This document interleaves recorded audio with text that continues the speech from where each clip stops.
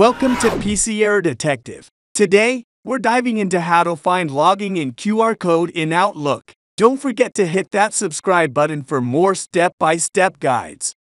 Step 1. Begin by opening Outlook. Once you're in, look for the gear icon, typically found in the upper right corner. This is your gateway to settings, so go ahead and click on it.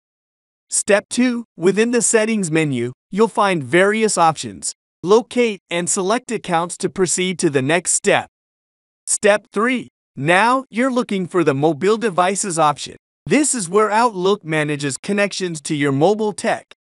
Step 4. Here's the crucial part. Find and click on Sign in Faster to Outlook on your phone. A pop-up should appear, presenting you with a QR code. This is your key to quick access. Simply scan the code with your mobile device and voila, you're logged in with ease. And that's it. Thank you watching and see you in the next video.